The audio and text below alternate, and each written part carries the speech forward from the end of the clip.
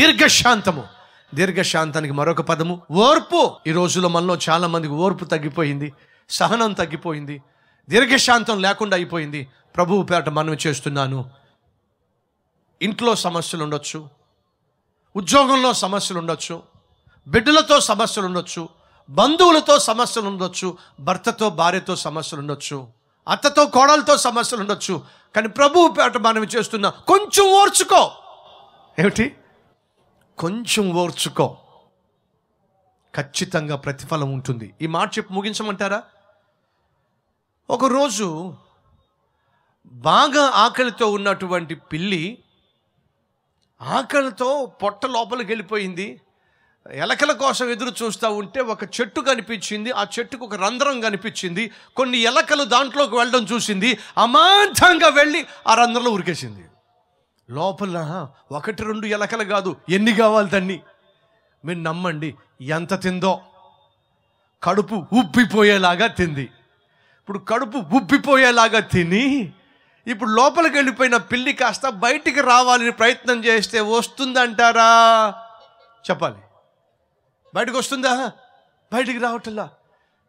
పీక ఈ చేతుల దాకా వచ్చి ఆగిపోయింది. ఏం చేయాలో తెలియక ఇరుక్కుపోయింది. అప్పుడు ఆ దారిన వెళ్తున్న ఒక ముసల పిల్లి కనిపించింది. సమస్యల్లో ఇరుక్కుండా ఏం చేయాలో తెలియక తికమక పడుతున్న ఈ పిల్లి బయట వెళ్తున్న పెద్ద పిల్లిని చూసి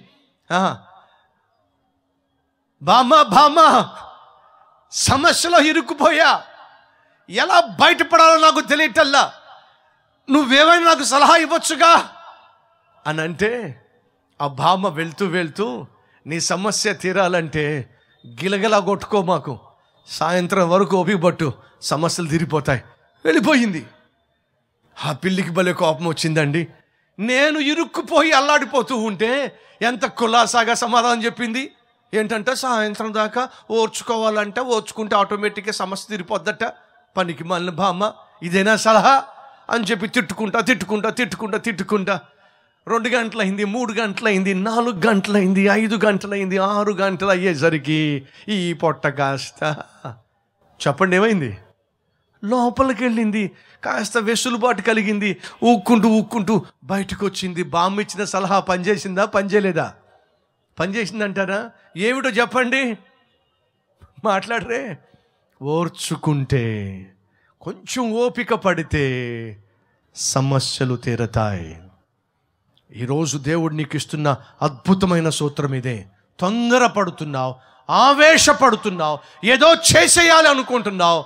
ప్రభువు చెప్తున్నాడు చేసింది చాలో. నీ తొందరపాటు చర్యలు చాలో. నీ తొందరపాటు ఆలోచనలు చాలో. నువ్వు తీసుకున్న తొందరపాటు నిర్ణయాల వల్ల నీ కుటుంబంలో ఎన్ని సమస్యలు వచ్చినాయో నీకు గతంలో తెలుసో. చాలు.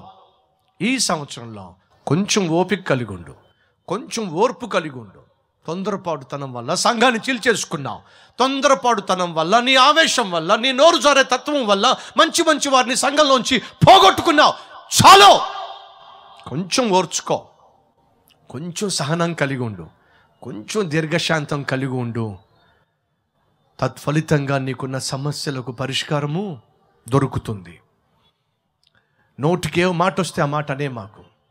కోపతాపాలు ఊరికినే ప్రదర్శించు మాకు. షార్ట్ టెంపర్ని కనపరచబాకు. ముక్కోపిగా ఉండమాకు ఈ సంవత్సరంలో. కొంచెం ఓపిక కలిగి ఉండు. కొంచెం స సహనం కలిగి ఉండు. కొంచెం దీర్ఘశాంతం కలిగి ఉండు. ఎందుకని? ఇది ఆత్మ ఫలములో నాలుగోది. ఈ సంవత్సరము నువ్వు నేను ఫలిస్తామని దేవుడు మనల్ని ఉండనిచ్చాడు. ఫలించకపోతే ప్రేమించకపోతే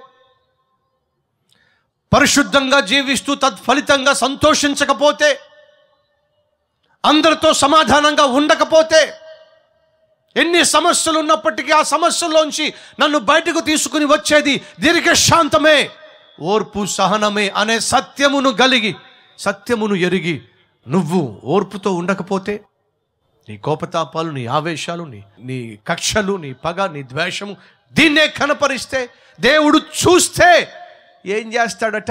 నరికి పడేస్తాడు. కనీసం ఈ నూతన సంవత్సరంలోనైనా మనం ప్రభు బిడలుగా జీవిద్దామా? ఆత్మీయులం గనుక ఆత్మ ఫలము ఫలించే ప్రయత్నం చేద్దామా?